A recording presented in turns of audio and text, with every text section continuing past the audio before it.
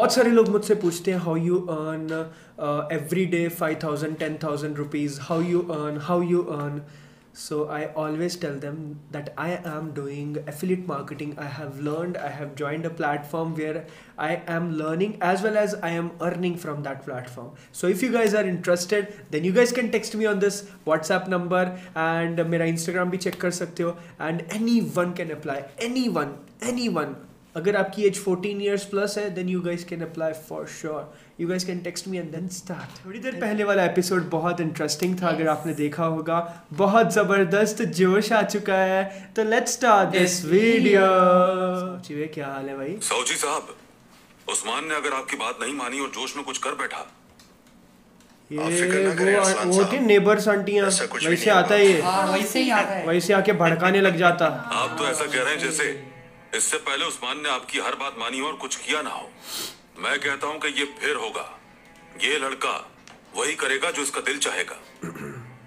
लड़का अरसलान लड़का साहब। जिसे आप लड़का कह रहे हैं वो अर्तुल गाजी का बेटा उस्मान है। हाँ। सोच समझ कर बात करें। उसी ने बचाया तुमको। ये तो मटिया मेट हो जाना था तुमने। इस वक्त बड़ी मुश्किल सूरत हाल है। लिहाजा गलत बात। कोई भी बर्दाश्त नहीं करेगा। आप इनके बड़े हैं।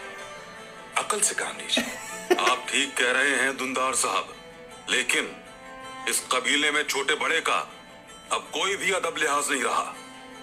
बदतमीजी अपने उरूज पर है। सौची साहब आप तो सिपा सालार हैं। आप कब तक इस तरह उस्मान साहब की बातें सुनते रहेंगे? ये मसला मुख्तलिफ़ है अरसलान साहब। अगर उसने मेरी बात ना सुनी तो मैं उसकी हड्डियाँ तोड़ दूँगा। हड्डियाँ तोड़ दूँगा। गुजरा वक्त पीछे रह जाएगा। अगर वो अपने बड़ों की बात नहीं सुनेगा तो उसकी सजा वो खुद पाएगा। हड्डियाँ तोड़ दो उसके। क्यूट है यार। भाई है उसका यार कुछ बात कोई बात नहीं तोड़ सकता है। भाई है उसकी मर्ज़ी। हड्डियाँ तोड़ दूँगा। क्या क्यूटली बोला ना? अच्छा लगा मुझे बुरा नहीं लगा पता नहीं क्यों भाई है ना यार प्यार करते हैं यार एक दूसरे से। लड़ाई होती है साथ में होते हैं कोई। भाई इन लोग रुकते नहीं हाँ उस्मान पे रुकते ही नहीं भाई। कभी इधर कभी उधर। स्पीड मैटर्स भाई स्पीड मैटर करती है भाई हर चीज़ में। स्पीड किला पता करना हाँ, है काम करना है कोई स्पीड मैटर करती है। स्पीड होनी चाहिए। अगर ढिल्ले बने लोग चढ़ते नहीं फिर ऊपर नहीं चढ़ते हो थल्ले ही रह जाते हैं। उधर ही खत्म हो जाते हैं। ओहो भाई क्या स्काई है? स्काई मत दिखाते अच्छा। है। स्काई शॉट एक नंबर।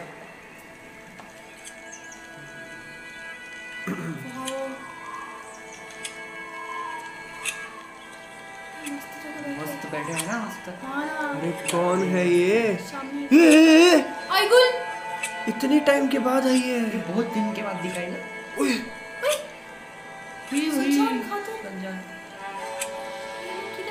इसके पास बच्चा। ये आईगुल का बच्चा है शायद। हाँ। इसकी पैदाइश को कितना अरसा गुजर गया है। बट ये तो पागल हो गई थी ना लेकिन आईगुल अपनी माँ की आगोश नसीब नहीं हुई। है कि नहीं? सद अफसोस ये गुनाह है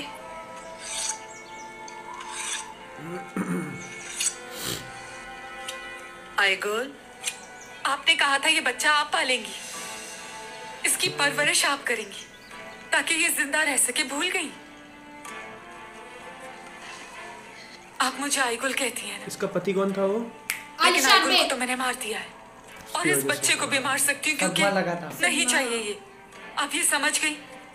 बहुत हँसी थी ना आपने जो वादा किया था उसे निभाइए।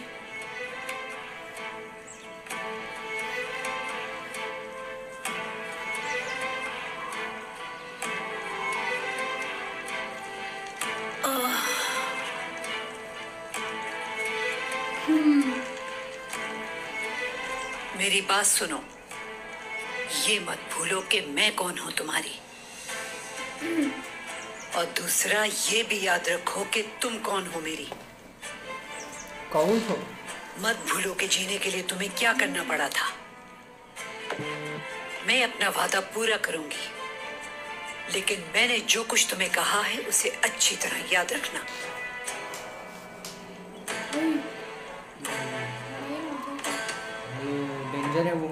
डेंजर है इसका कुछ पता नहीं। अपने करीबी लोगों से बदला मत लो। सच में। बदला उनसे लो जिन्होंने तुम्हारे साथ गलत किया है। मुझे इस बच्चे पर अफसोस करने पर मजबूर ना करें। वादा किया था आपने। वादा किया था याद करें। आए गुल सब बातें एक तरफ़। ये तुम्हारा बच्चा है। इसके बाप का नाम आलिशार है। ये मेरा बेटा नहीं हो सकता। मेरा बेटा नहीं है ये।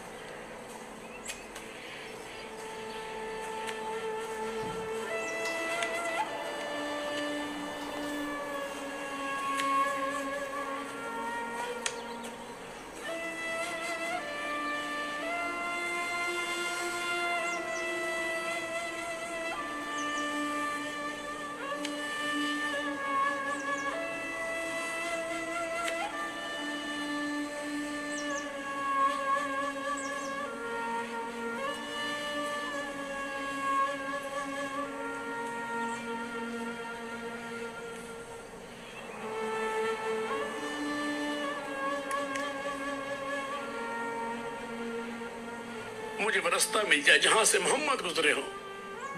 मैं उस रास्ते की खाक अपने चेहरे पर लगाऊँ। काश मैं आपका चेहरा मुबारक देख सकता।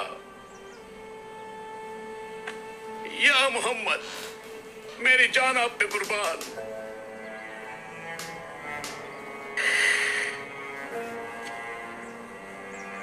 अगर मैं जाऊँ तो सिर्फ़ सफ़र हज पे जाऊँ।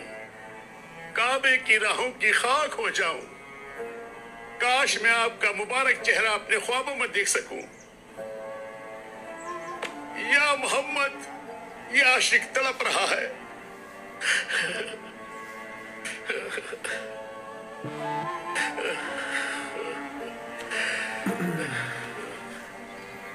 उस वक्त हसन हुसैन को आपका प्यार मिला। आपकी मोहब्बत मुसलमानों के दिल में है। कल का दिन बड़ी अदालत, कयामत का दिन है। या मोहम्मद मेरी जान आप पे कुर्बान।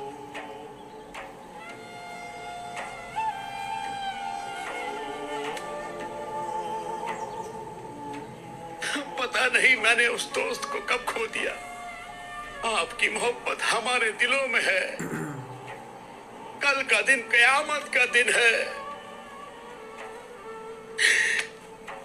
या मोहम्मद मेरी जान आप पे कुर्बान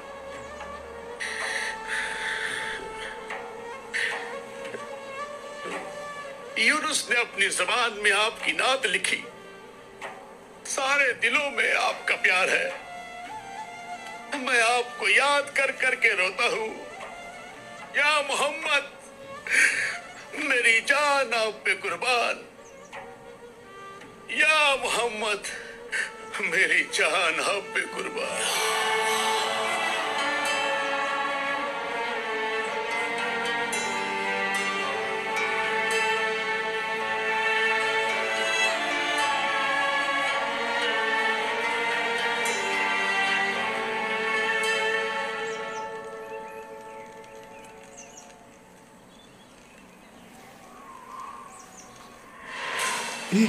अंग्रेज़ आ गए।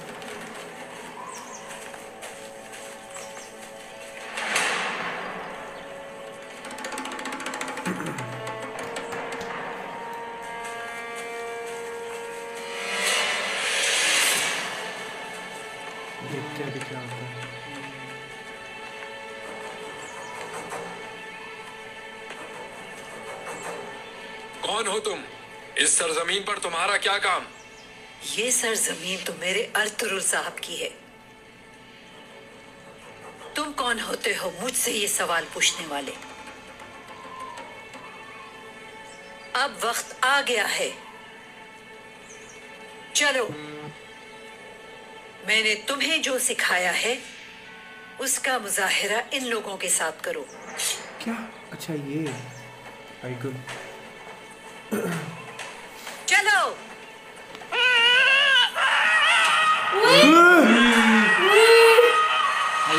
है पूरा सिप्पा सेलार मार दिया उसका।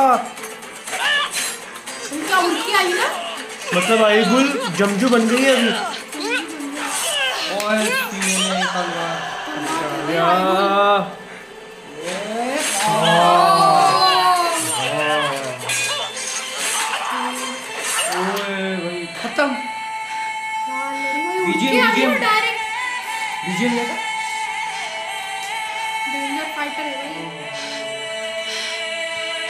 फाइट भाई।